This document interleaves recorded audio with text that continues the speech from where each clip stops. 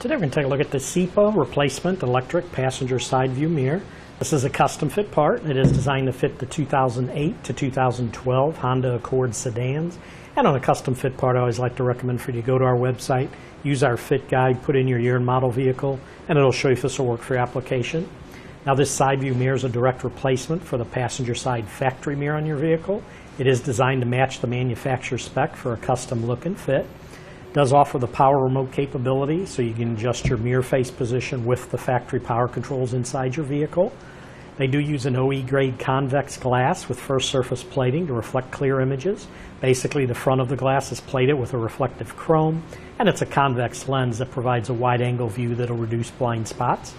It is a breakaway design, so the mirror will fold when struck to prevent breakage. The mirror is in a nice durable black ABS plastic housing. It is an easy no drill installation, has the same footprint and mounting points as your factory mirror.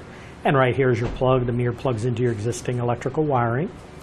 Specs on this, it's for a quantity of one passenger side mirror, and it is designed to replace the original equipment part number of 76208 TA5A01. But that should do it for the review on the CIPA replacement electric passenger side view mirror.